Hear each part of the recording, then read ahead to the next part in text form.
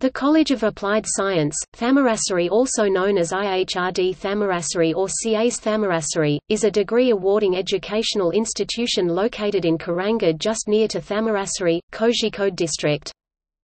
The college was established in the year 2012. The college is managed by the Institute of Human Resources Development and is affiliated to the University of Calicut.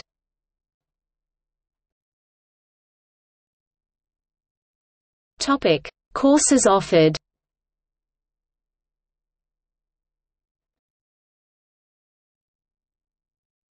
Topic: Notable alumni.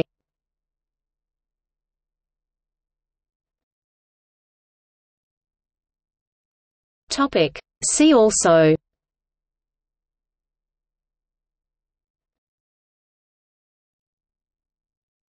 Topic: External links.